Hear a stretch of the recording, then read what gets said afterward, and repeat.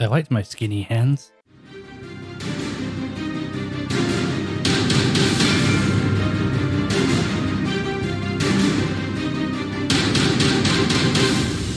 Hello and welcome to another episode of D&D Valiant Odyssey. I'm your DM Aaron and I'm sitting around the table with Baergrum, Felix, Bengor and also Mr. Halrod.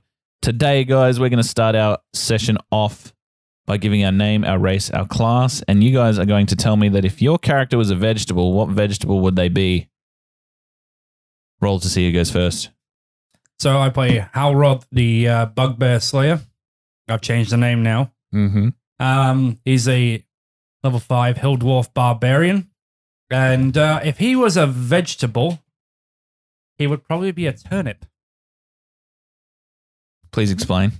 Turnips, they're tough and they uh, and they're squat round things. I don't know. Perfect. Makes sense to me. Yeah, let's go with Bengor now. Hey, hi, uh, play Bengor Goldstone. I am a level 5 fighter and I am a hill dwarf. The type of vegetable I'd be a potato. Very nice. On to the Tabaxi Felix. the tough one. Probably maybe a carrot. Why a carrot? You like that? Yeah, fair. Let's go with Baergrum. All right, and I'm Baergrum, level five Eladrin rogue. And if he was a vegetable, it would be a tomato because he's not sure if he's a vegetable or or a fruit. I get where you're going with that. He doesn't know which side of the table he belongs on. You got it. Mm. Okay, so last time we left off, you guys were in a little bit of trouble with the law. You guys had to uh, escape after breaking Felix out of his holding cell, having been wrongfully accused of the murder of Orn Stone. He's a murderer. So, using Baergrum's knowledge of the unseen and the maps below the city, you guys were able to make your way through them to the Odyssey Guild where you're now held up. Not before encountering Melnan Wargon, his band of Griffin Riders, and a variety of his uh, city guard and watch, who you promptly fucked up. Did I miss anything? Uh, the fact that none of us can hide except for me. Oh, and we uh, encountered an uh, eye tyrant. What you believed was an eye tyrant. Yeah, so you you got lost in the sewers. You uh, got yourself turned around, and in doing so, two of the party members felt fear beyond belief. And uh, a massive eyeball haunted your dreams. So we're going to cut in now. Three days later. Three boring days. You've spent your time at the Valiant Odyssey Adventurers Guild. And in doing so, the walls have gotten monotonous. The smell of mahogany no longer hits your nostrils as you walk through the area as you've acclimatized to the scents within the building. You watch as heroes come and go. Every time they exit the door from the tap room, you get a sense you wish to be out there too. As we cut, it's currently nighttime. We cut to Baergrum. Baergrum asleep in his quarters. A loose sheet upon your person. You look up at the bell that had been signaling you endlessly from Zen. By looking at that, you can see that it is still disconnected, but that hasn't stopped this individual from contacting you his desperate search to solve this puzzle.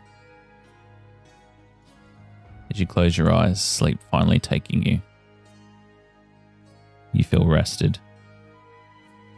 And you begin to dream. In your mind's eye, you see a swirling vortex of black smoke. You're in the middle of it, in the calm of this storm. As it swirls, you can feel a pain in the pit of your stomach. You see the wisps of smoke begin to dissipate, and as, it does, you can see faint green lights permeating above.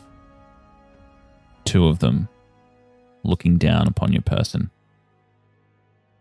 As this smoke completely dissipates, you look across the landscape and you can see that it is barren, buildings that once stood broken, reduced to rubble, the people that used to live in this place withered, emaciated.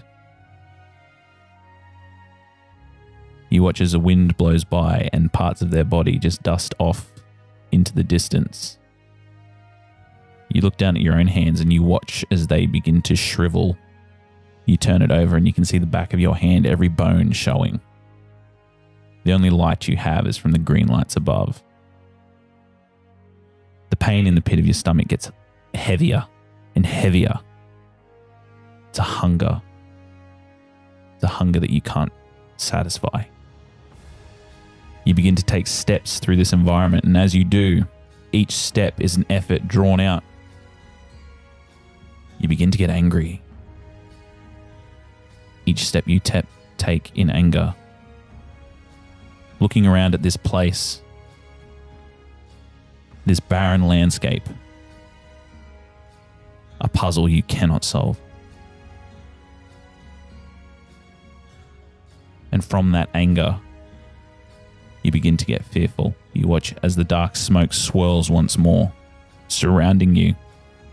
And as it wisps you up, and it becomes more violent in its make,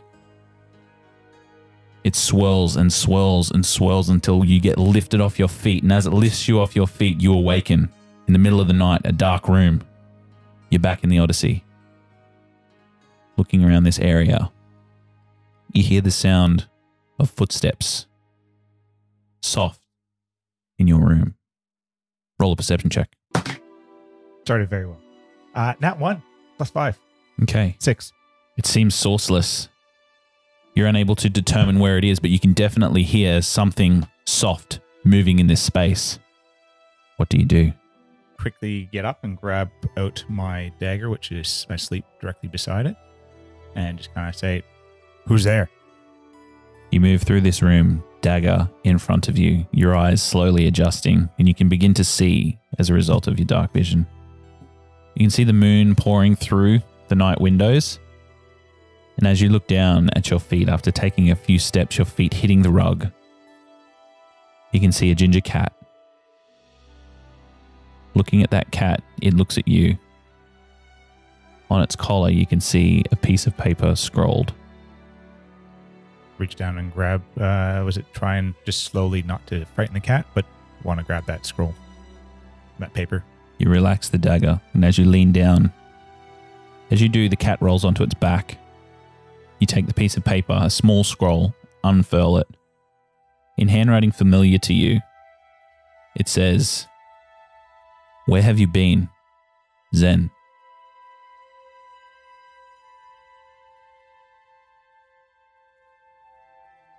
I basically just kind of puzzle it over. I'm like, what do you mean? Where have I been? Been here. I've I've seen him earlier. Roll an insight that- check. Yeah, uh, ten. He's been bothering you a lot about this puzzle. And this is his latest attempt to procure your attention. Whether So- it's a, a direct emergency or whether he's even had a breakthrough, you're not sure. But the bell didn't work, so he sent the cat. I kind of I sigh, and I I reckon that he's probably going to be awake. And I'm up now. Um, what time is it?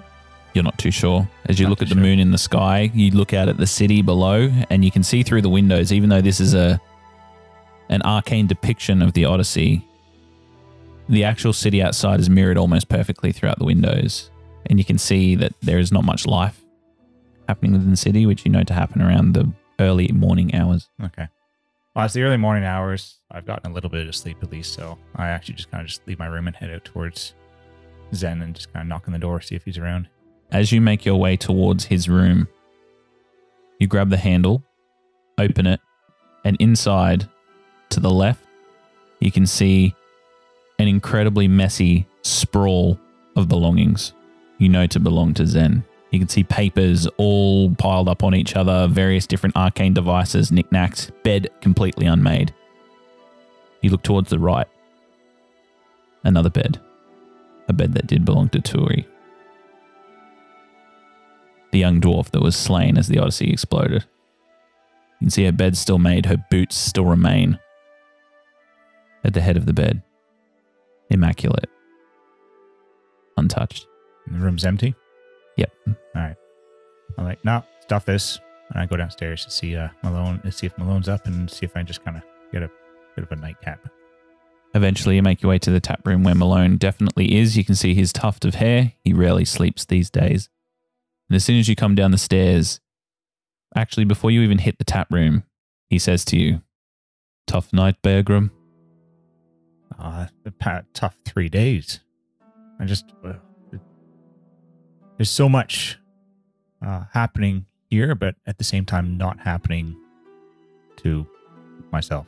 I'm just sitting here. Yes, well, it does seem to be hard to be in the middle of it all, but then also on the peripheries. He slides you over a drink of your choice. He knows everybody's drink, he knows everybody's name. And you converse casually. At that, we cut. The early morning hours peeking through the windows of the Odyssey. But for Halrod and Bengor, their morning began before the sun came up. Taking this time to train and hone their bodies is in the yard of the Odyssey. They spar. What do you two currently look like as you're facing off against each other? So Halrod in isolation's gone a little bit stir crazy and decided to shave his hair off. Probably is more of a disguise than anything else. Mm-hmm. So he's just got his beard now and a bald head. Very cool. And But it- Bengor? Bengor hasn't really changed much except for he's started to plait his beard, make it a little bit more neat and tidy. Just like his brother? Yeah. Oh, that's fucking cute. Um, and he had a haircut where he's given himself a mohawk down the middle, but a short mohawk. Very nice. So as you two stand there in your armor of choice, you're both holding wooden staves. You look around at this place and you can see that this is a room designed for people to train in their agility and their strength. The sand below you, soft but hard if you hit it. You can see stone pillars of varying size, some five feet tall, some two feet tall, some 10 feet tall. Both of you begin bouncing from one to the other to try and get towards each other. Roll acrobatics checks, please. Five. Okay. So Bengor, you begin jumping from one to the other, one foot hitting the stone as it does so, and you eventually get to the 10 foot one, making sure you have the high ground. However, Halrod, you begin jumping for the same one, and as you do, Bengor pushes you with his arm, and you only just grab onto the one next to him as you do so. You pull yourself up, and you're probably on the seven foot stone pillar, looking directly at him with a stave in your hands. It's not fair. You've got longer legs than me. It's not my fault I'm taller than you. Yeah. But you may have the high ground, but it's not an advantage when it comes to me. And at that, you guys both swing your staves at each other. Roll, let's say attack rolls. Try and hit each other's armor class. 18. 22. So I believe as you guys are sparring, these wooden staves clacking onto each other. Eventually, Halrod, you swipe at Bengor's feet, and as he jumps, he dodges your first blow, but you immediately bring down the horizontal, hitting him directly onto the head, smacking him in a playful way. Take that, you big brute. I uh, tickled. At that, you go for it again. Roll attacks. 19. 19. Okay, so at this point, you guys both begin clacking these sticks together, and eventually they come towards each other. You're binding them in the middle, and you can hear them beginning to break, flex, and snap. As you both begin to push these closer together, you break apart from each other, swing them around in a flourish. I need you to roll acrobatics checks to maintain your balance. 23. As you push off Halrod, you begin to move backwards, centering yourself. And as you do, you can see Bengor slightly leaning onto one foot, his balance off skew. And as you do, you just get the tip of your stave and shove him lightly in the shoulder. As you do, you watch as he tumbles head over head and lands 10 feet down onto the sand, flat on his back. The air is taken from your stomach, uh, from your lungs, Bengor. That wasn't fair. Much to learn, you still have. At that, you jump off of the podium, go and give him a warrior's grip to help him up. Your morning training done. Don't think much of it. I spent many time years in the militia, Bengor. You'll get the hang of it. I just need a bit more training and I I think I can take you. Never trust that your opponent's going to be honest. I spent many years fighting goblins, and they're the most cunning things you'll ever fight. They don't fight fair, and you shouldn't either. The only thing I find honest is people I can trust. And there's only a handful of people I trust at the moment. Everyone here at the Odyssey is trustworthy, and, and hopefully in time they'll earn your trust. I'll make sure that they know they can trust me. That's it. Just keep what we're doing here. You didn't have to jump in with us to rescue Felix, but you did anyway. You know, you've earned your place here with us, as far as I'm concerned. He, uh, he asked me to help. I'll help anyone I can. At that, you begin to make your way out to have some breakfast served for you in the tap room as the sun begins to rise. John, I think we've earned some eggs and bakey. I love eggs and bacon. We cut now to one of the tallest portions of the Odyssey Guild. Three days in this building has probably served you the least favorably, Felix. But still, you've taken this time to meditate in the early morning sun. You're sitting on your windowsill of your room. Looking out onto the city, you can see the hustle and bustle of Cadmia beginning. You can see the forge, a large temple to Nekestis, firing in this early morning, its orange glow matching that of the sun which comes across the sea. As you look towards that sea, you scan the many ships in the harbour of the inland sea. One of them catches your eye. The eye catcher. Pink sails, rose emblazoned upon it. A hatred fills you you know a liar is aboard that ship. As that fills you, you center yourself once more, knowing the purpose of your meditation. You look towards the market square, innocent people going about their daily business, unaware of the perils that they may or may not be in. You see in the southwest corner the Wasonia Institute nestled amongst the mountains, students moving to and from. As you look towards the sky, you can see Griffin Riders circling. You know them to be city watchmen. On their daily patrols. Over the last two days, they've seemed to slow in their approach. You know, a few days ago, they were rampantly searching for you. You do watch, however, as three of them begin banking across the eastern side of the city and park in the cul-de-sac where the Valiant Odyssey Adventurers Guild resides. From the position you watch, you look down to the street, cobblestoned, as three of them dismount. You notice one of them immediately. This one is Melnon Wargon. He comes off of his griffin, removes his helmet, his blonde hair shining in the early morning sun. He removes a scroll case from the side of his hip and he begins unclipping it and opening it, revealing a piece of paper. He moves towards the ruined structure that is the Valiant Odyssey Adventurers Guild. You know you're sitting in the arcane fortress created by Arden himself. And at that moment, you look down at the street and you can actually see Arden Cassian exiting the building. His brown mop of hair pushed to one side, teacup in his hand. You can see the small smoke billowing up from his cup, still hot. He's wearing a cloak that you can see covers one of his hands, and as he moves towards these three individuals, you watch as a conversation takes place. Roll an insight check. 13. Looking at this, it's an amicable conversation. It looks like Melnon and Arden have known each other a while. There's a familiarity with their conversation. You watch as he hands a piece of paper. Arden opens and reads it, and as he does so, he hands his cup of tea to Melnon, who holds it for him. He scrolls it up, and as he does so, he pats it onto Melnon's shoulder, and they exchange again. He watches Arden shakes his head, does a gesture of not knowing, and points around the city. He watches they begin to become more stern. Melnon moves very, very close to Arden's face. And Arden's shorter than Melnon, so he's towering over him a little bit, but Arden doesn't move.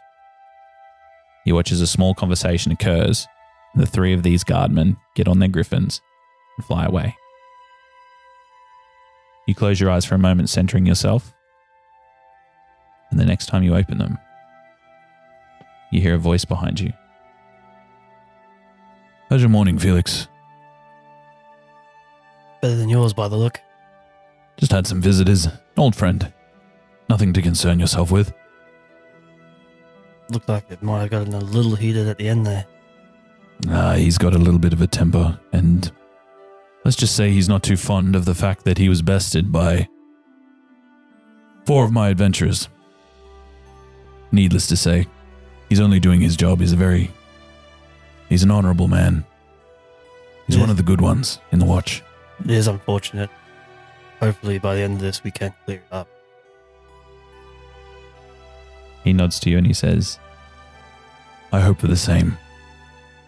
It's one thing to have the city watch and the guard on your side.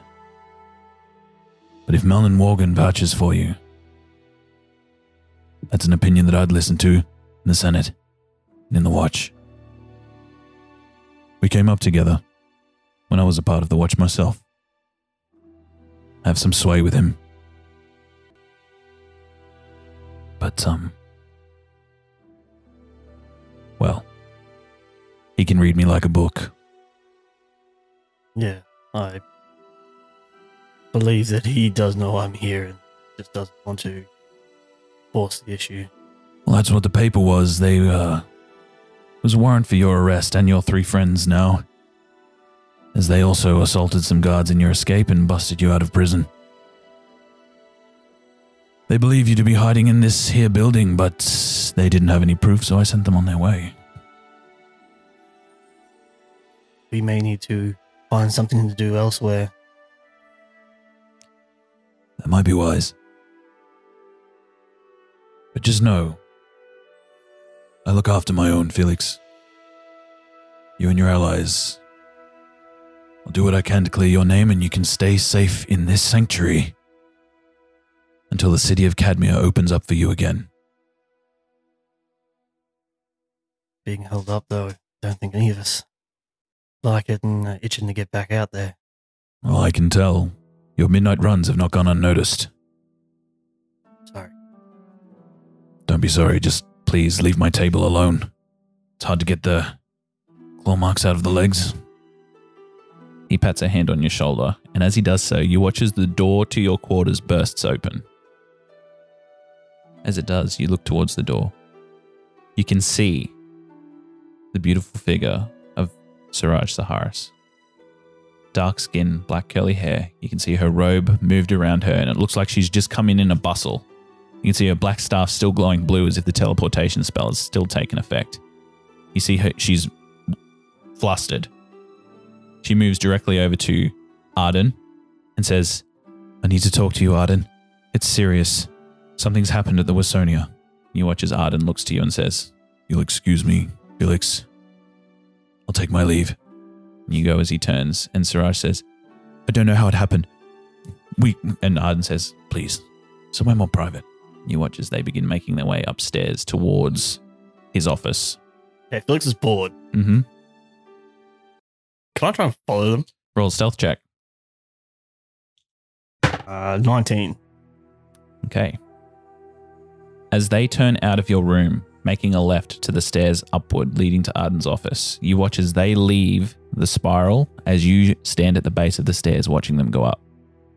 You watch as their silhouettes disappear and then you slowly ascend the stairs stealthily. Do I see, is Baergrum anywhere downstairs at all? He's in the tap room, which is the floor below. Can, At I the see, moment, can I see him from where I would be from, on the stairs? No.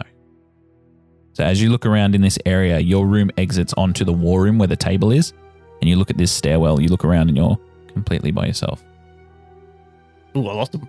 No, no. Oh. As in, there's no, nobody else Oh. around. As you go to make your way up the stairs, you watch at the last minute as the door to Arden's office closes.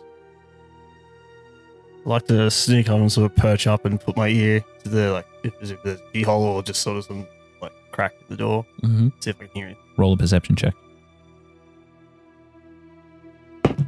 That will be 25. Hushed whispers to start with, but you can hear in Seraaj's voice passion and anxiety. The words ring from the silence as if a volume octave has increased, and she says, It's gone. The tome, it's gone. From the Wasonia, in a godly light. I don't know what happened. It's impossible. Except for divine intervention, you watch as Arden hushes her and she says, Please, Zaharis. If it's gone, then we need to put all our resources into finding it again and taking it to a place where it won't be lost. You watch as she says, I don't know how this would have happened. The Wasonia has arcane safeguards. There is no spell that could have affected it to make sure that it disappeared. It was before my very eyes, Arden. I don't know what to do. And you watch as Arden says, We'll figure this out. I'll set some adventurers to the task, but I have to make sure that some of my. my more. well. those that are in trouble, they need. they need me first. I'll set them straight and then I'll make sure that this is on my priority list. You watch as Sahara says, Please, I. I'm, I'm beginning to draw the sigils to see if I can recreate what happened. But at the moment, the only thing I can think of is. is that a power much greater than mine, much greater than any mortal being, a divine blessing of some kind, an intervention of the gods. But why? Why would they want this book? I just hope it hasn't fallen into his hands. And Arden says, Don't even. Don't even bring that into the light.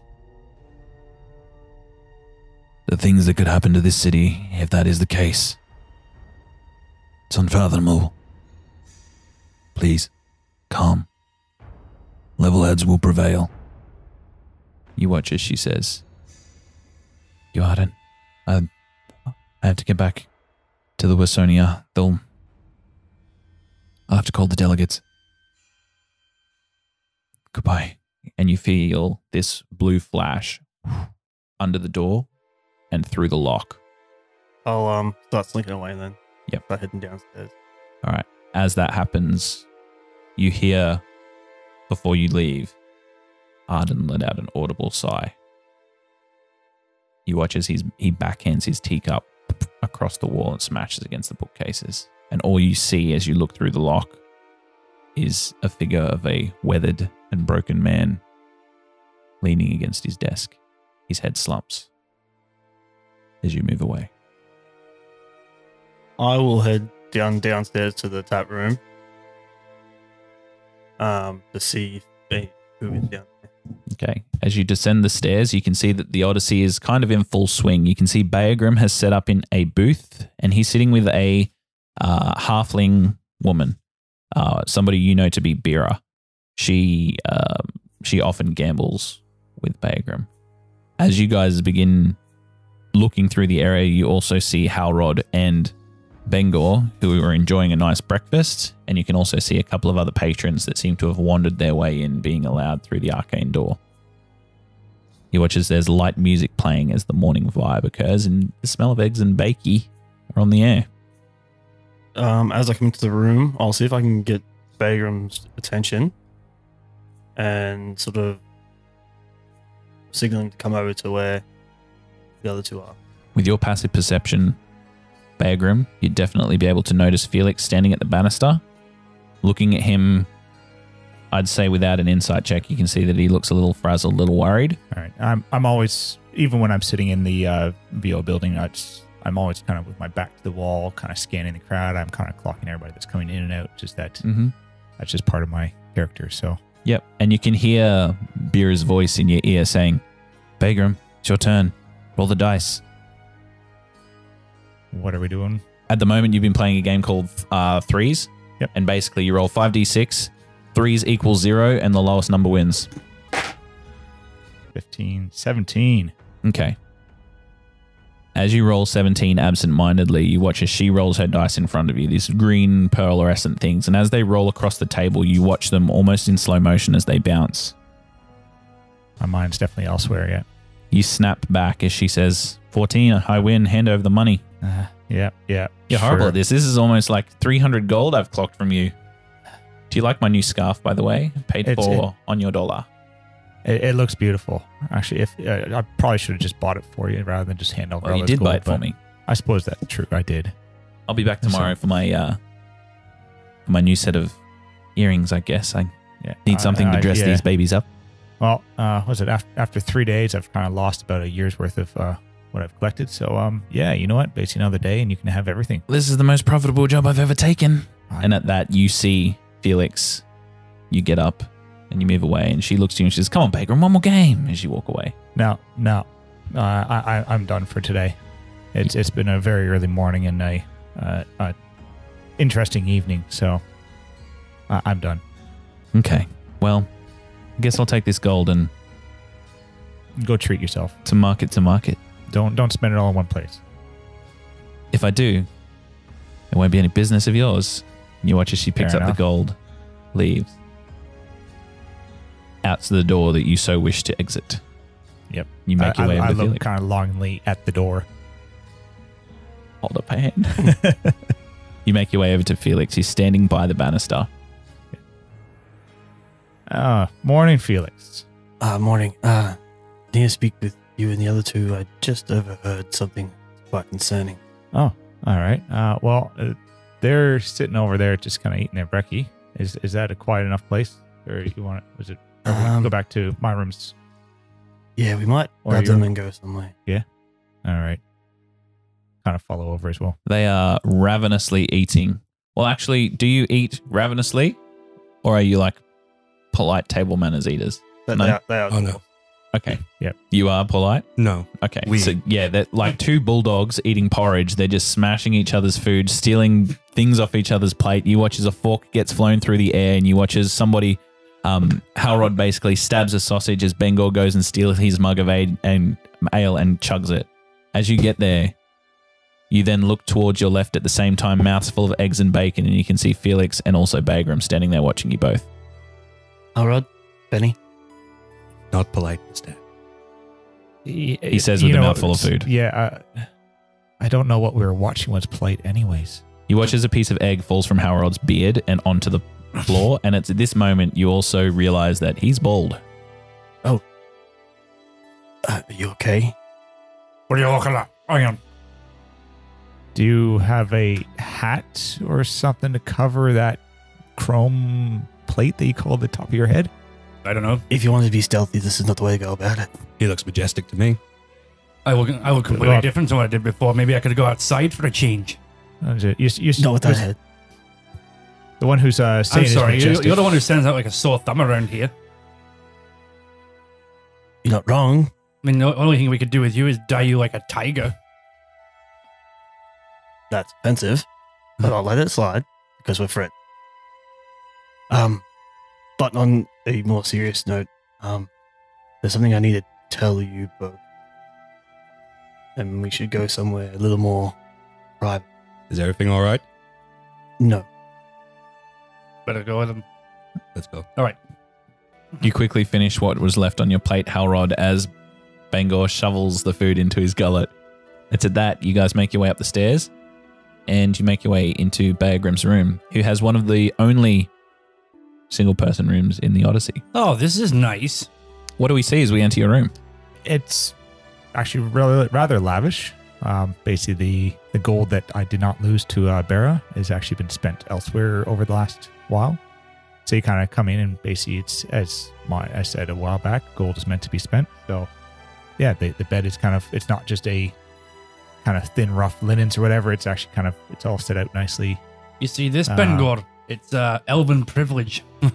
You Oh. can see that there are puffy pillows all through Yeah, the bed, some exactly. lavish curtains blowing in the light breeze that is Just- portrayed through the arcane windows. Kind of reds and blues and just kind of yeah, just kind of looking some purples in there. It's too fancy for me. What does it smell like in here? Oh, it, it just it just has a very fresh um, breeze scent Mm. to it. Just kind of just like a just a beautiful like sunny morning kind of smell. It is filled with the musk of two dwarves and a cat that's been inside for three days as they enter. And then all of a sudden, all it's basically that that starts, and then basically because of the uh, the arcaneness of the room kind of thing, it just all of a sudden that smell just vanishes and it just comes back to the scent again. disappears. You close the door, and as you do, the four of you seem alone in this room. So the uh, guards came by this morning with a warrant for my arrest. Is that Sorry. surprising? I, I'm actually surprised they took three days. Probably only safe because of the relationship Arden has with God. However, after that, Arden came to speak with me. Um, and we were interrupted by Lady Saris. Ah, the Lady Mage, yes. Um, she seemed to be in quite a panic, so I may have followed them to listen in on their conversation. May or did. accidentally. Did. Hmm. Did. The tome has been taken. The, which which tome? The tome This- that were You mean the spirit bound tome that we got from um, from up near Undercliff? yes, Really? Wasn't that like fully protected in the? apparently it Institute? was, and she's not even sure how it was taken. She may she thinks it may have been some sort of divine intervention. But the Wasonia Academy is supposed to be more secure than the bloody bank. And that's what she's saying. She has no idea what happened And or how it happened. she's the most powerful mage I've really ever known as well. If if she doesn't know what happened, And she was saying that whatever it was was possibly stronger than her, stronger than anyone she knows. This feels like the work of Delnak. Someone catch me up with all this. Sorry, uh, Seraaj Saharus, she's the um, she's the staff mage at the Wisonia Institute of Arcana. Right. Um, so basically, like the head mistress over there, and uh, she's a big deal, very powerful. Hmm. Um, basically, it's got the most arcane users in the in the world, and it's very heavily protected. The Spirit Bound Tome was a book that was meant to be from the gods, and it contains uh, information to treasure troves, weapons, and it's also a prison for the most powerful evil beings that have ever existed. So maybe that's why it's gone then. They didn't want it left down here. They took it back. well, uh, yeah, they, they've been wanting it forever. But the fact that it was actually taken from this Wisonia, which is fully protected by everybody in it, plus so many arcane sigils and other traps and as well, that's the surprising bit. But- Right, whoever took it has immense power. There's gods for a reason, isn't there? I mean, like, She you, did- you know as well as I do, Bengor, that the gods are half myth these days. She did say that it could have been by divine intervention. So maybe not by a god specifically, but someone who is a worshipper. Or has basically a, a, a one power given to them type thing. You mean? Or- Yeah. But of I'm not really clued up in those sorts of ways. So So a god or a, a titan of darkness. One, one of the two. Wait, you were was it was it you who found it before? We kind of came across it and uh, we found it. Yes. We were we were tasked to retrieve it Yeah, after, that's the, right. after the unseen stole it. how did you come across that one?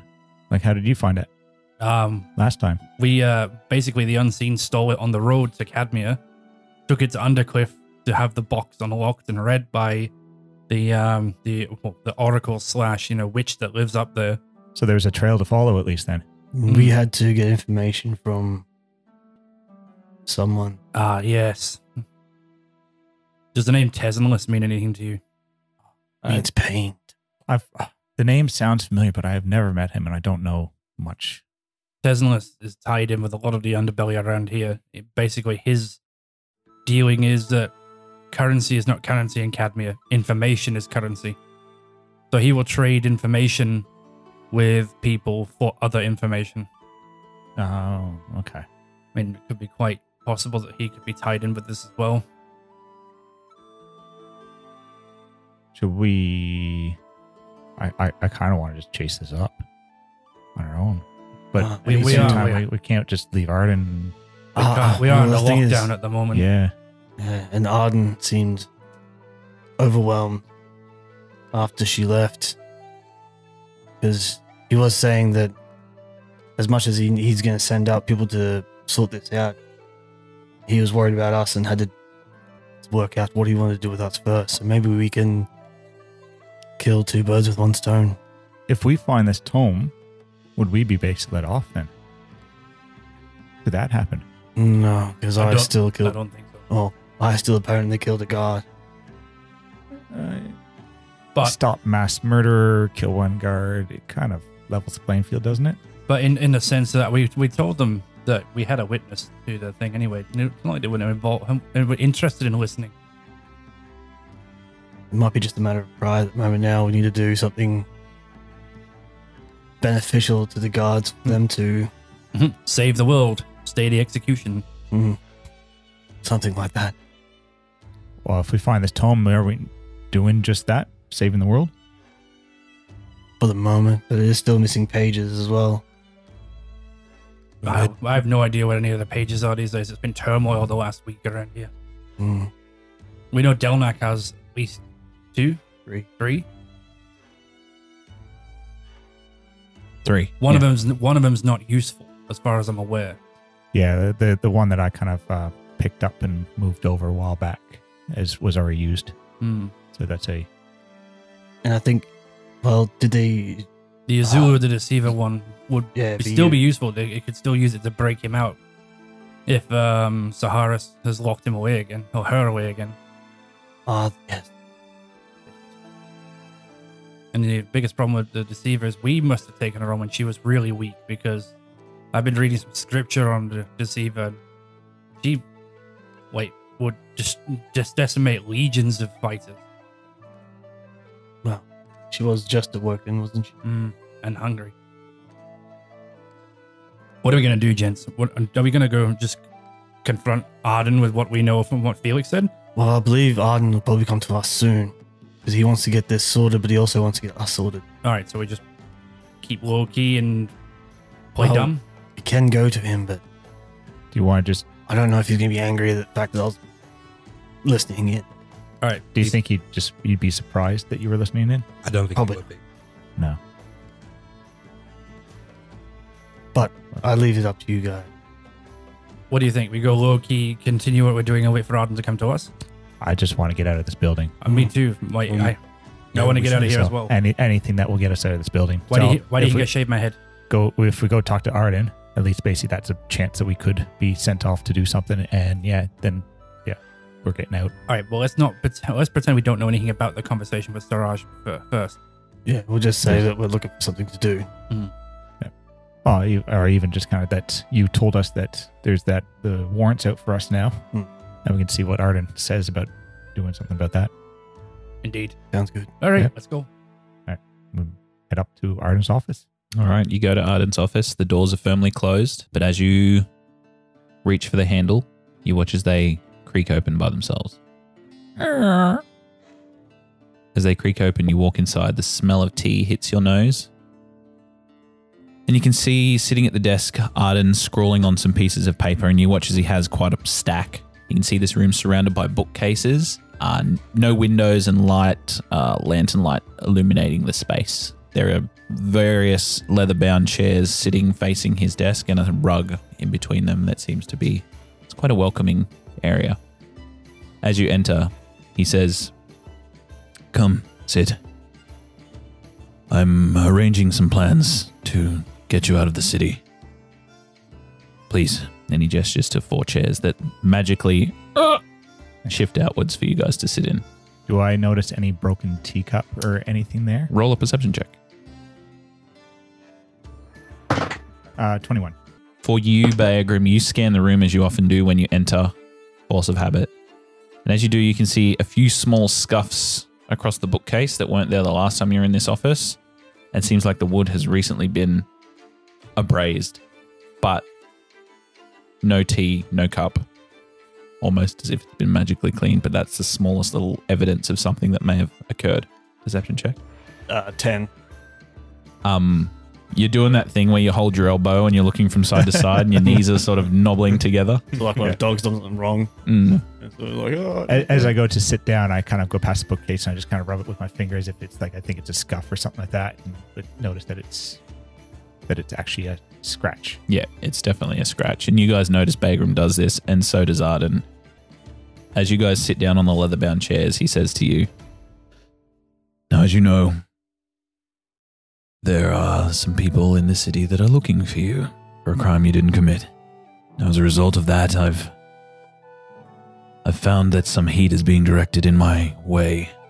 Well, we kind of broke Felix out, so I suppose that is a crime we did commit. Well, I did ask you to, so I wear some of the blame. I mean, yeah, to be fair, me, Ben Gordon Bergeron, we did commit a crime. Felix is the only one innocent one here, technically. As an escapee from one of the holding cells and, well, And punching a woman. we all know where this is going. Look, the point is, I think it's time for you guys to vacate. Perhaps spend some time in the country. Take in the fresh air of the meadows, all that rot. That sounds like an ideal location for me. Undercliff is a very large region. Perhaps you can spend some time laying low there. In doing so, I may be able to give you some superficial disguises that you can use to vacate the town upon a trade wagon. They won't last long, but they'll last long enough. Felix told us that Seraaj was here. Was she here for anything specific? He looks directly at you, Felix.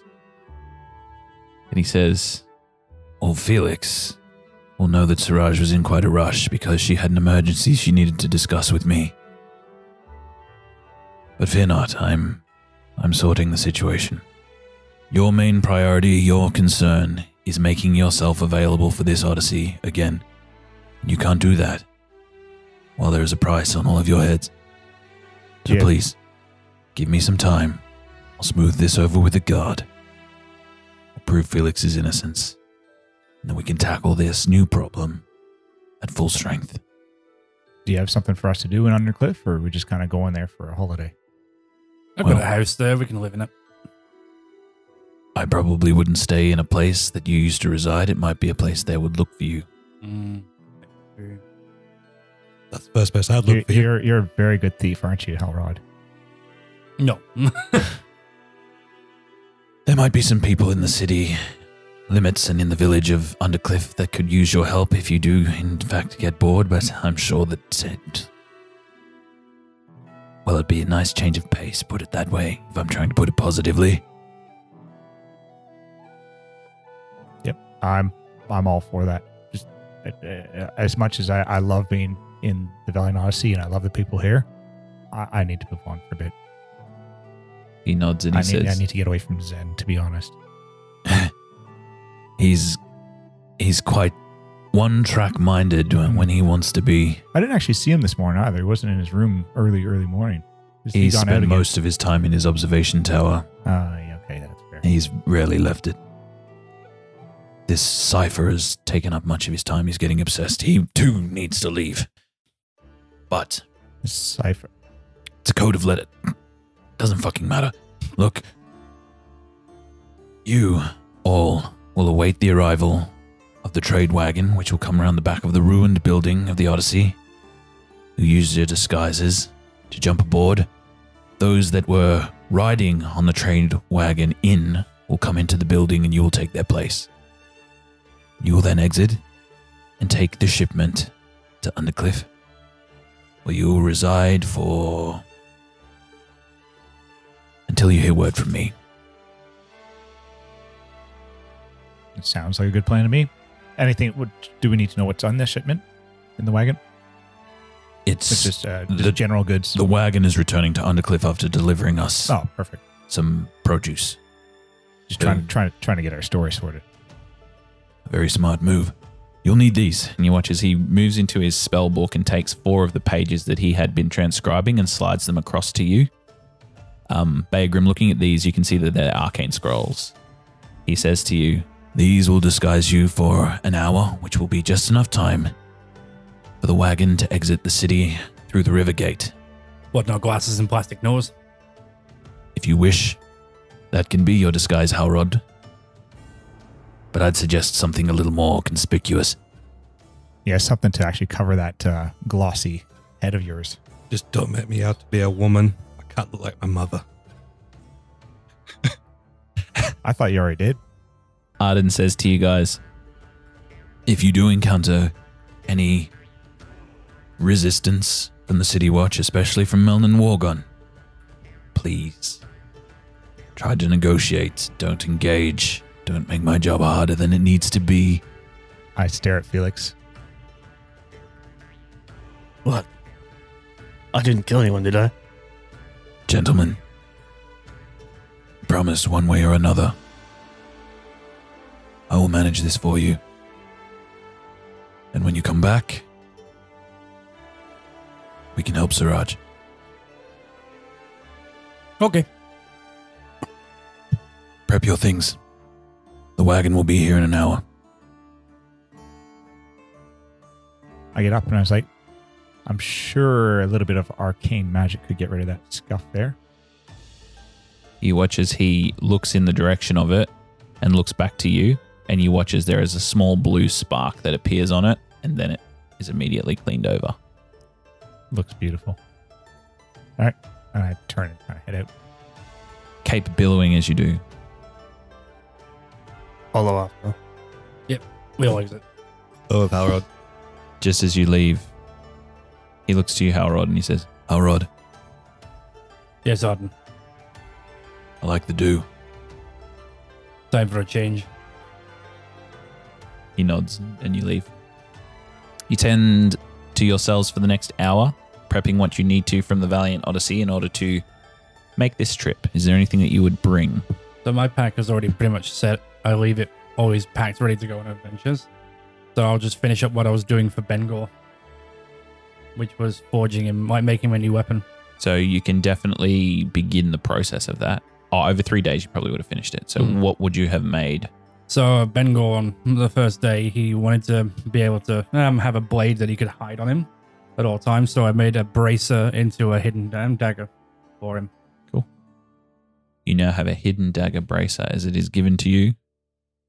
It looks like a leather wrap. Or actually, describe what it looks like for us, Howard. So it's a it's a, a leather bracer like an archer would wear, but it, it's full. It's a full one instead of just laced up, and with leather straps across it, and he can pull his um, hand back, and a blade comes out from underneath, and kind of like Assassin's Creed. Very good.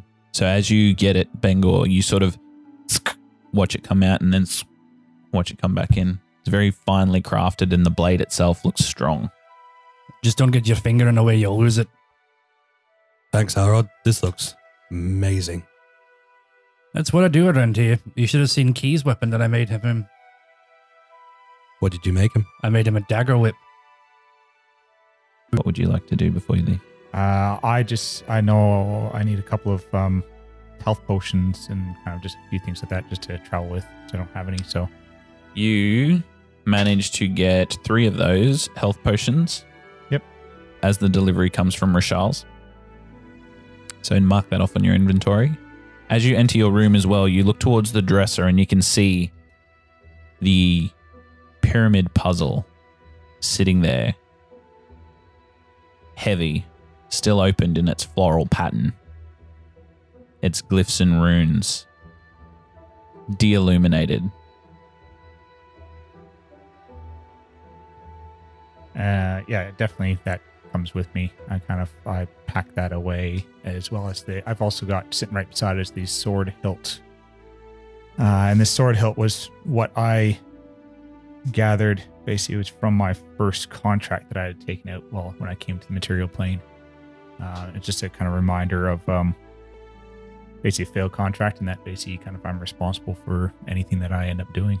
Okay. So and that's kind of basically the two of them together are kind of a reminder ongoing reminder as i go throughout my entire travels as to kind of basically things that have happened things that i've done and the um the flow on effect of any decision i make and therefore i need to kind of really think and make the decisions correctly very contemplative as you begin packing your bag and you eventually make your way out to see Halrod and Bengor conversing. Is there anything you would like to pack or do, Felix?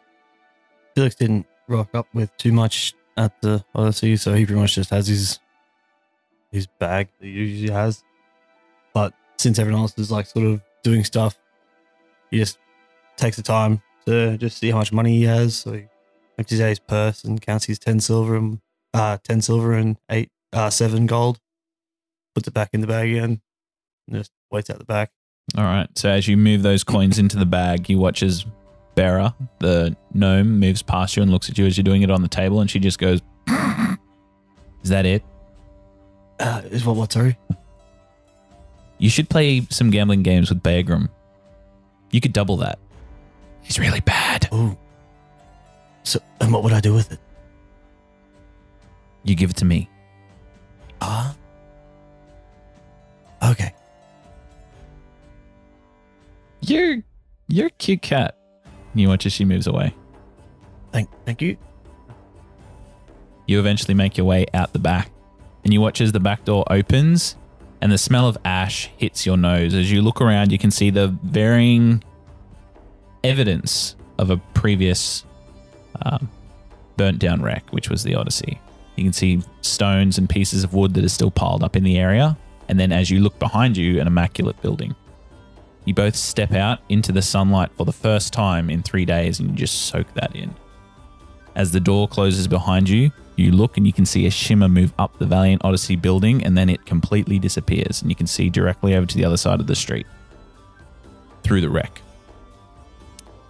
It's at that point you watch as this wagon drawn by a heavy Clydesdale horse moves from the back of the Odyssey and into your peripheries. You watch as four individuals jump off, two halflings and two um, humans. They immediately jump off. They move towards you, and you watch as they start to size you guys up. These four people. You watch as the two humans go towards the Tabaxi and uh, the Eladrin elf, and you watch as they're sort of comparing heights visually, and then you watch as they swap, and then they both take off their cloaks and give them to you, and they walk into the Odyssey laughing. The two halflings move over to you, and as they look towards you, you watch as one of them says, "Oh, I hope this fits you. And they take the cloaks off and put them back onto you as well. And you watch as the two halflings walk in. You watch as one of them says, You're round. And the door closes, and the sound of the Odyssey is mute from you. You look and see the wagon, barrels in the back, completely emptied. Seemingly the load already been unloaded around the side. You can see the horse ready and waiting. Him being six foot is the halfling halfling close won't fit in, will it? At the moment, the halfling clothes on him look like very unfitted. the parchment we got from Arden, Mm-hmm. is it just like a scroll of like polymorph or something? Disguise self. So you can look and you've taken some time now to look into that, and you can see that it's going to last an hour and it's going to be able to visually make you look different. But if somebody investigates that illusion, it's not a particularly strong one. How different? But it's not like polymorph where you can change like you like change to like a lizard or something. You can change into a different looking humanoid, but somebody that engages with you, They, they touch the area. yeah, It's like so a can I disguise virtual my, could, would I be able to disguise myself as just a house cat? Mm, no, it has to be a Has to be humanoid. humanoid. Yeah. Yeah. Yeah. Um, so Bengor could indeed disguise himself as a halfling, but if anybody moved over that form and touched above where the halfling is, they would feel Bengor. If you know what I mean, because he's taller. who we swapped over, and I I I look at the kind of the tallest one there, thin one. I was like, all right, I read it. I use the scroll, and Roll an Arcana check. As the only magical member of the party, Baergrum. Yep. Arcana is a nineteen. Okay, so with your 19, you watch as the other three members of your party are attempting to read their scrolls too. You read yours successfully. You watch as the parchment glows blue and then disappears in a fractal of energy, similar to what you've seen uh, Arden use before. It's almost like shattering glass. You move over to Felix, and he's not making heads of tails for it. So you cast it on him. You I, move ju- I over. use my mage hand Yep. just because. You move over to Halrod. I touch each one of them and cast it on them. Mm-hmm. And you see Halrod is uh, reading his, but when you move over to Bengor, he's got his like upside down. You turn it the right way, and then you watch as all three of them simultaneously ch- ch- ch- smash. Then, from head to toe, you watch as you're disguised. What do you all look like now? Oh, great. I'm a midget. So, looking at Halrod, halfling, I'm guessing. Yeah. Mm-hmm. Just to go about, about the same size. Alright. Bengor. I'm just gonna look like a uh, normal human being. Yep. But I'm gonna have uh, long black hair, a thick beard and mustache, and I'm also gonna have a glass spectacle on my right eye. Very cool. And Felix, what are you looking at? Uh, I look just like a dirty stable hand, Mhm. but like a, like a tall, like one of those tall, lanky kids you know you see like in high schools and stuff like that. There's always that one tall, lanky kid. Yeah, um, sort of like Has that it with filled out yet? yeah, with scraggly like uh, dirty blonde hair and just sort of like hunched over and Very cool. quiet. And Baergrum? Uh, I look like a distinguished uh, businessman, just kind of a basically a, a uh, human, uh, just kind of very, very kind of put together, and just kind of look like basically a relatively rich individual. So we're in charge and there are servants. Basically, well, I, I'm just kind of, I'm just hitching a ride in the wagon to Undercliff to continue some business. All right. All right. You look towards each other, disguise is taking place. Knowing this only takes an hour, you load yourselves up onto the horse. Who's driving? I guess I'll drive. Not the stable hand. Good no, I'm point. the boss. He has to jump off and cart the items. Okay. All right. Uh, yes, sir. Yeah, there. All right. Um, you all jump onto the cart. Roll an animal handling check, please, Halrod. Oh, this could be bad. 15. 15. You watch as the horse stubbornly stays where it is, but eventually, after you you uh, whip the reins once or twice, it begins to move through the city streets of Cadmia. You look around and you can see people going about their daily business. You can see people in the North Ward that seem to be meandering through. And as you pass by the front of the Odyssey, leaving the cul-de-sac, you can see as well that some people have come and laid flowers where um, Felix had laid his wooden animal replica for Turi. As you see that, and you begin to make your way out into the streets, heading southward, you begin to look to the left and the right, and you can see the large towering statues that reside in this city made of marble. As you look through and see them, you can also see the sunlight cresting off of them as people begin to meander through, bringing their trade goods as they continue their day. You do look up, and on the left, you can see a griffin rider perched on a particular post designed for these riders. And as you look at that, he's just scanning the area. As he looks towards you, Can I tell if he's using any sort of arcane means? roll an arcana check. I'm just going to keep riding down the street. Oh, there's nothing to uh-huh. see here. Just say 11. He just seems to be looking with his eyes. There doesn't appear to be any arcane source guiding his vision. He looks towards you guys, and as a cart passes the opposite way to what you're going, you both sort of cross paths. And the watchman actually looks down to both carts and gives a signal as if to say, top of the morning to both both carts. And you watch as the driver that's passing by waves to the guard as he looks towards you, Halrod, and does a similar gesture. I went back and I was like, top of the morning to you. And just keep going. All right. As you begin going down, you pass by the walls that house the City of the Dead, and you can see people moving into that area to pay their respects, but also converse in the park or go for a leisurely walk. You begin making your way to the river gate, and you can see on that gate there are three guardsmen that seem to be just standing in the watchtower area. They seem to be stopping some people, but letting most go. I'd like you all to roll deception checks with advantage, please. Oh, shit. like, fuck. I rolled a nat one the first time. I rolled a two. That would have been a short adventure. That would have been a very short adventure. 15. 21. 16.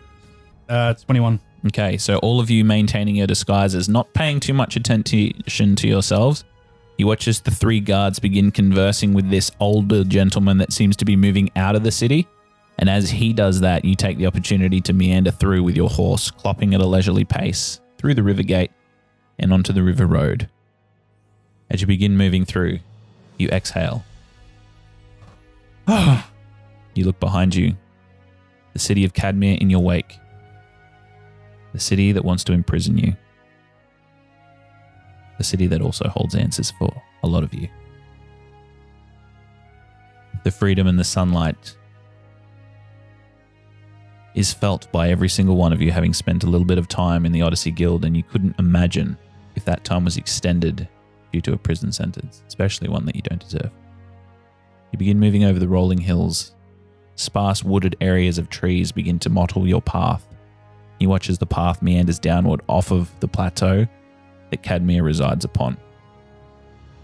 You, knowing the way to Undercliff quite well, Halrod, being to and from a multiple amounts of times, turn the cart to the north And as you do in the distance, you can see the first instance of what looks like harvested fields. You take a deep inhale and you can smell that fresh farm air. But as you do that, and everyone does around you, can you all roll a perception check for me, please? 15. 12. 15. 21. So, with your bestial senses, Halrod, and being somebody who often inhales as you enter Undercliff to get the whole vibe of the place, it smells the same. It smells like home. There's something musky, an undertone that isn't usually there.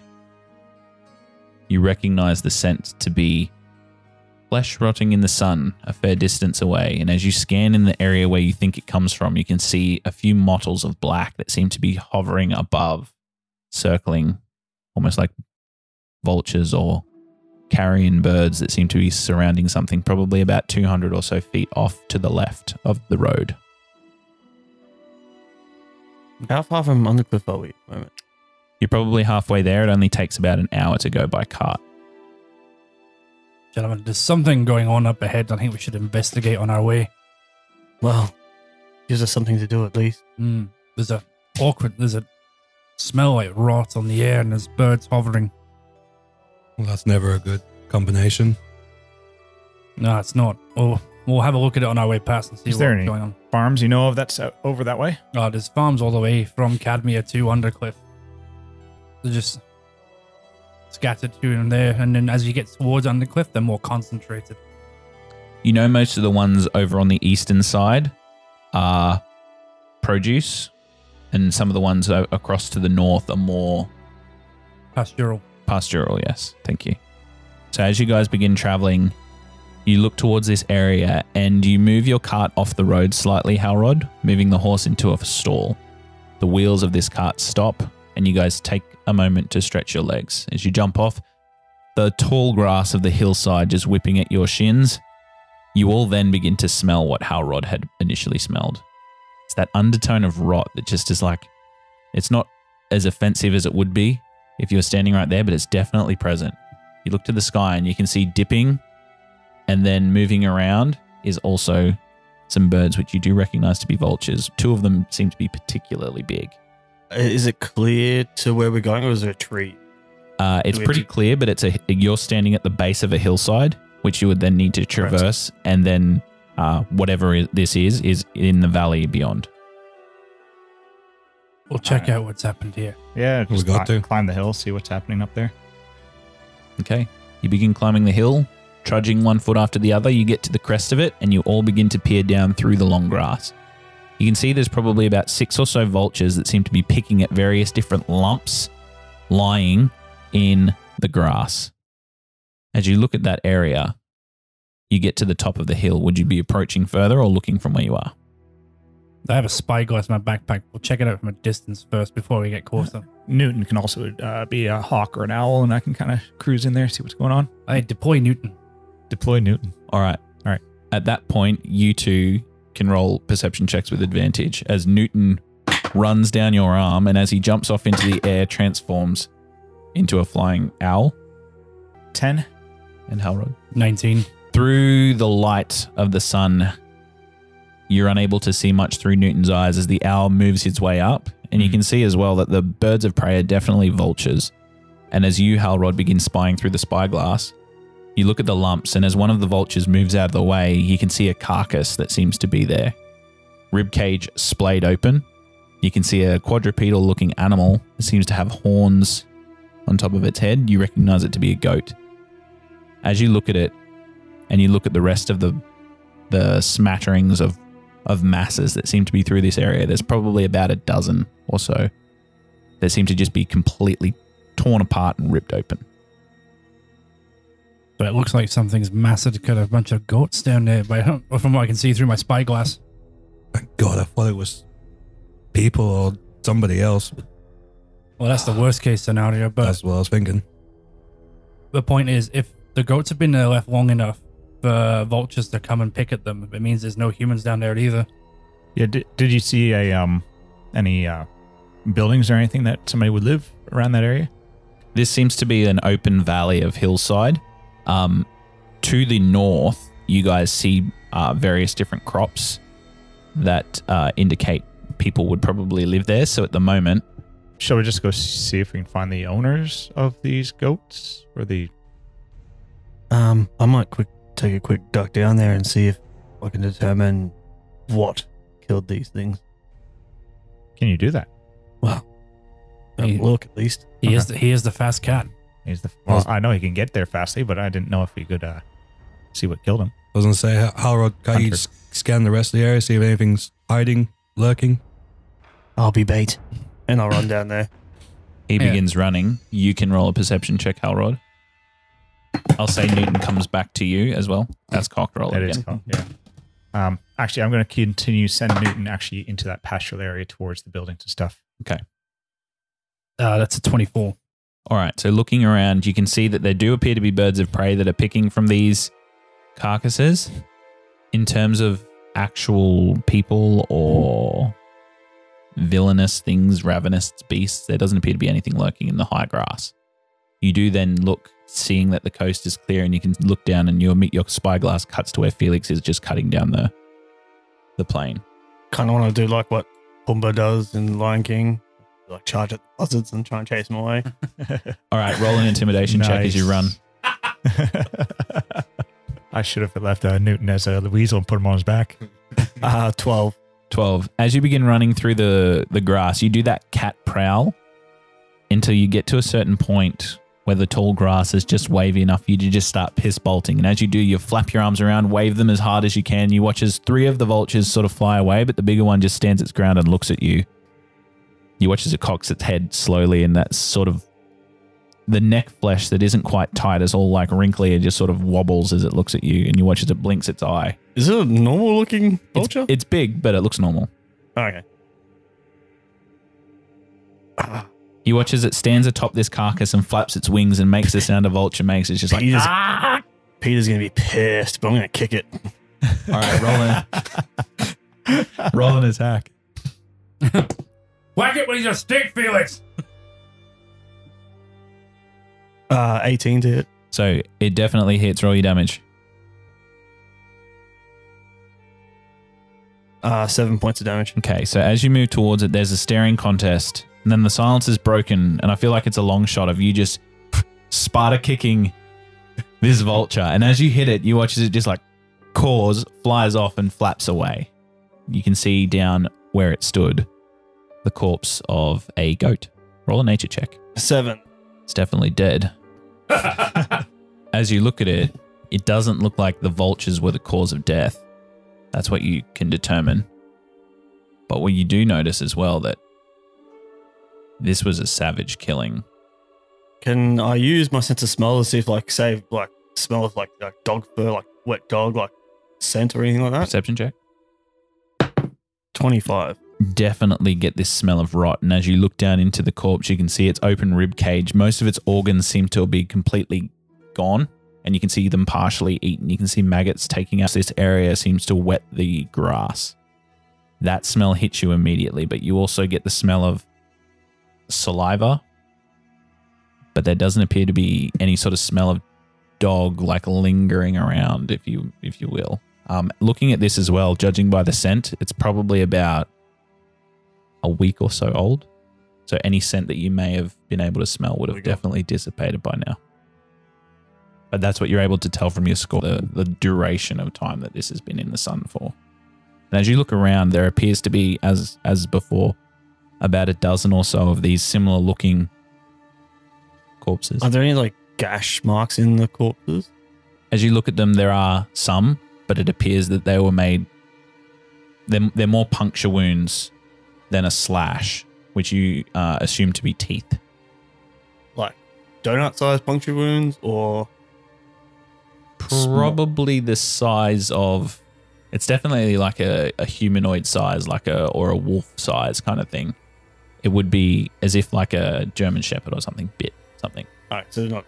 It's Yeah. not like a giant Yeah, creature. and you can like also see as well there de- seems to be a, a deep puncture wound on either side of the bite, indicating some canines or some sharp teeth. Uh, and there seems to be some ripping and some lashing from that as well, as if some incisors occurred. Only one puncture set? No, multiple on Ah. this one. As you look towards an adjacent goat, you can see similar sort of features, but roll a perception check as you scan the rest. You don't see the wolf sneak up on you. No. 10. 10 um you notice that they're all in various states of rot this one that you're looking at seems to have been fed upon quite ravenously but some of them don't appear to be fed Oh. upon at all some of them just seem to be killed and left So more killed for sport rather than food. you see an element of both they definitely if this was like a predatorial kill most of the time they kill what they need eat it and leave Mm. this looks like they killed what they need eat it and then kept going yeah Okay. I'll head back up. Mm-hmm. He comes back with a musty smell of rot on his fur from being in proximity. It's kind of gross down there. It looks like it. All right. So whatever killed these, killed and ate some of them, but some of them are less ravaged and look like they're just being killed because they were in the area. Can you make any sense out or anything particular I smell? mean, mm, no, it looks like it's been about a week since they've been dead. Hmm. There are puncture wounds from something biting it with like canines, but I can't tell if it was Dog, wolf, Dog, etc. what. I wonder what the full moon was like. Roll a nature check. 14. Okay, so the cycle of Selene, you're probably a few weeks off a full moon. All right. It's definitely, it's not even close to a new moon. No, you're in the middle of the moon. cycle, yeah.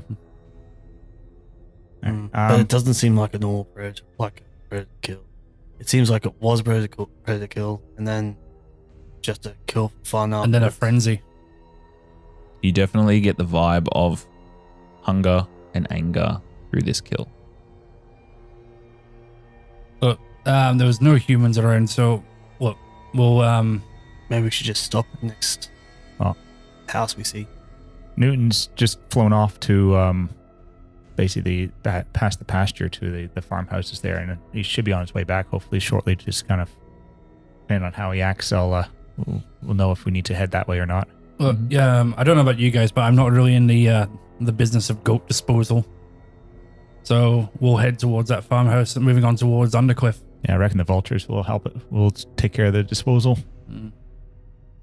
You have this conversation as you jump back onto the wagon, and as you begin taking off, Newton does indeed come back, and he seems to be acting quite normal. Okay.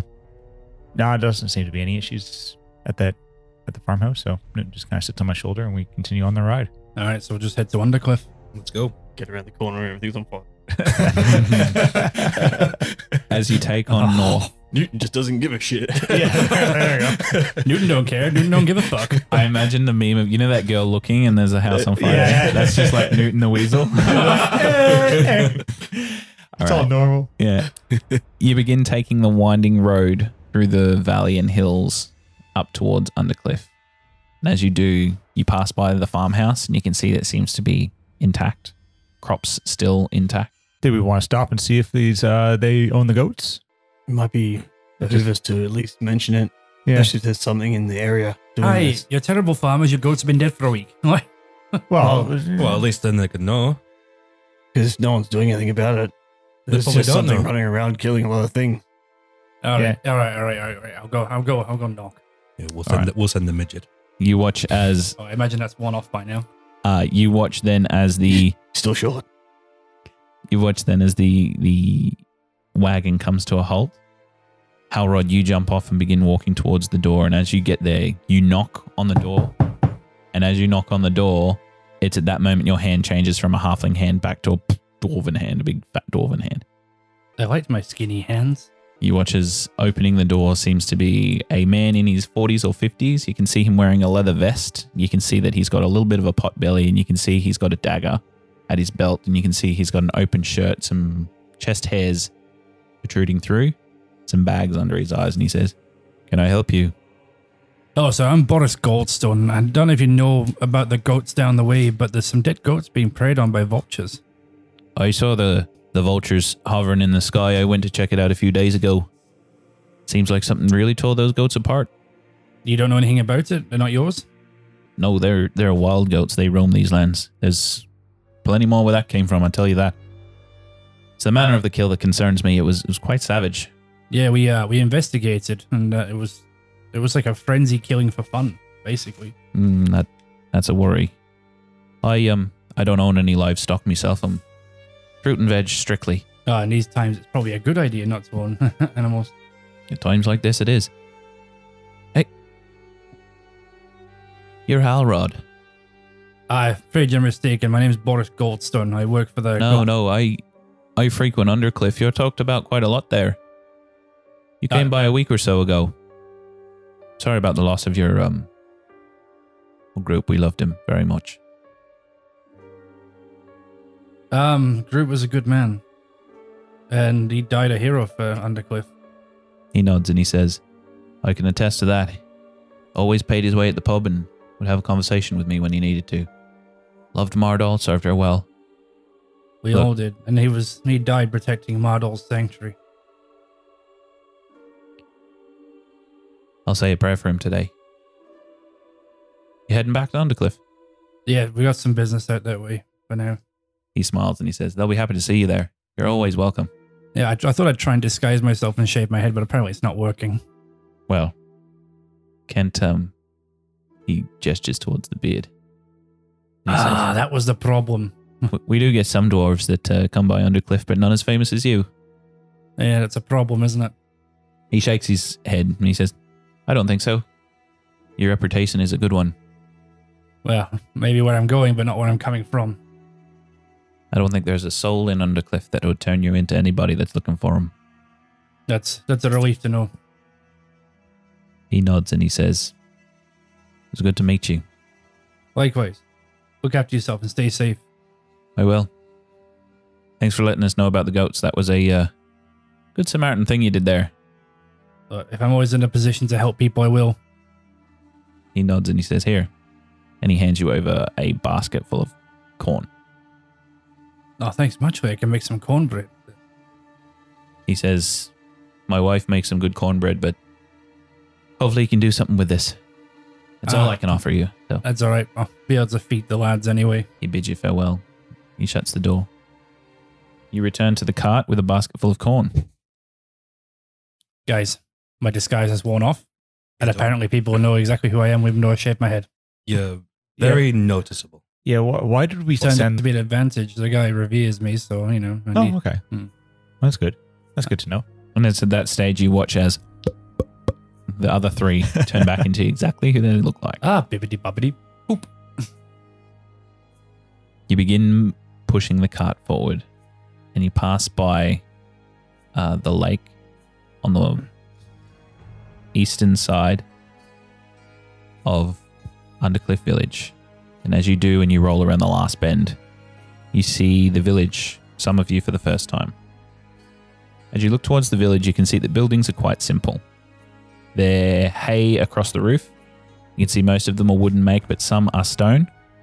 Uh, you can see the roads are mostly dirt with some cobblestone patched throughout. You can see lots of hobby farms throughout this area. And you also see three of the largest buildings seem to be directly in the center of town. One that seems to be quite quite illustrious, made of wood, and you can see that there is a large staghorn across the head of it, and uh, that's the temple to Mardol. You also look to see an inn that seems to be bustling with uh, occupation and population. You can see a large boar across the sign, and you know this to be the boar's head. And there's another building as well that you seem to be like government chambers, and you can see a stage that sort of emanates off of that. But you get a very big farming vibe from this. You pass by a few wells, you can see various different market stalls throughout the the area, and it's quite a hilly uh, landscape.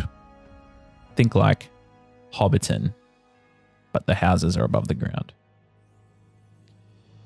as you enter and you pull your horses into Undercliff proper. We'll end the episode there.